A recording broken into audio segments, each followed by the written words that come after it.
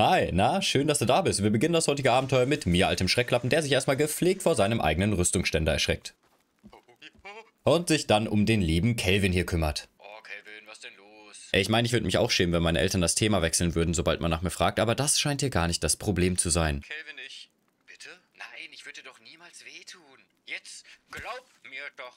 Das Problem bei so Open-Insel-Spielen wie Sons of the Forest es ist, sind die Möglichkeiten, die einem zur Verfügung stehen. Unentschlossen wie ein Chamäleon in einer Skittles-Fabrik schwankte ich hin und her zwischen Hüttenbau und einer Expedition in die Ungewissheit. Also fragte ich die Personifikation des intellektuellen Holzweges nach Rat und entschied mich letztendlich dazu, ein wenig auf der Insel herumzulatschen. Beim fröhlichen Dahergucken stolperte ich über ein kleines Zeltlager und nachdem ich dieses in bester Staubsaugermanier leergesaugt und die moderne Kunst der Ureinwohner bestaunt hatte, fand ich einen alten Freund. Den Night V. Was wohl dafür steht, dass man damit wie frisch aus dem Zirkus ausgebrochen und von Zeus höchstpersönlich vom Blitz getroffen über die Insel pesen kann.